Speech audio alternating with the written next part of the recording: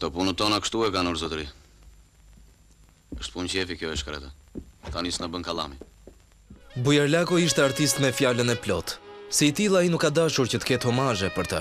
Miq, të afërm e kolegë u mblodhën tek shtëpia e tij për ta përcjellë prej andej në shtëpinë e fundit. Iku një një një vlerë e jashtë, iku një gjeneral, siç me të drejtë e cilësonte dhe shtypi i skenës dhe ekranit shqiptar. Një trishtim i gjithë mirë. Si artist, çar të them unë? Si koleg, i jashtëzakonshëm, si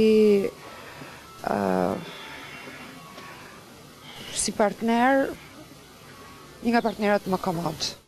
Ritëm usta ritëm. Kisha një kuriozitet se kisha parë disa planet e tija që i binte klarinetës. Mendoja se Bujari vërtet e kishte mësuar klarinetën. Por në bashkëpunim me Laver Bariun, ai kishte filluar të imitonte në mënyrë perfekte të gjitha lëvizjet e. e duarve në klarinetin e tij.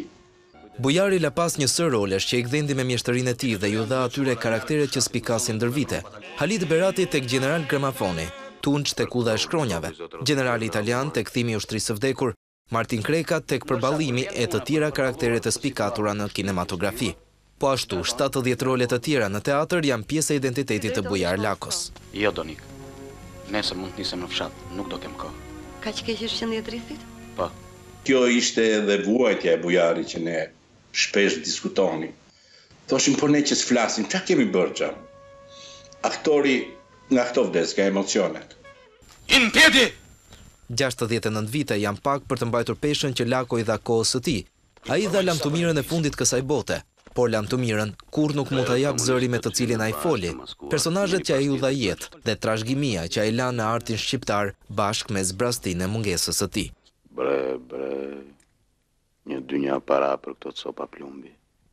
Janë flori e shkuar floririt kto shkronja, o bir!